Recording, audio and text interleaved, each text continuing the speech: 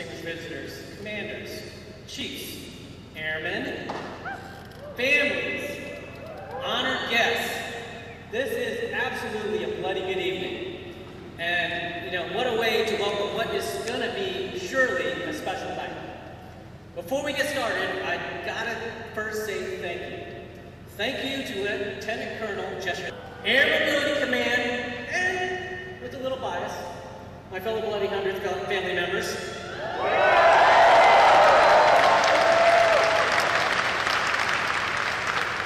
Tonight is a celebration. Wow. what a warm welcome, Colonel Pentagon. And thank you and Melissa for all that you've done to lead and serve at this base. Thank you, Dr. Biden, for the introduction, all the support you've shown for our military families, and your amazing words tonight. Let's give her another round of applause. Thank you.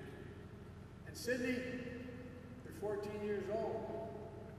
I was 14, if please, at ease. Keep forgetting I'm president.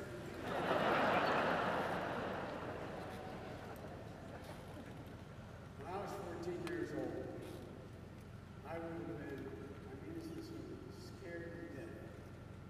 Stand up in front of the microphone. In Brussels, I'll make it clear that the United States' commitment to our NATO alliance, Article 5, is rock solid. It's a sacred obligation we have under Article 5. The U.S. and the U.K. are both founding members of NATO, the strongest military and political alliance in the history of the world. And that's not hyperbole.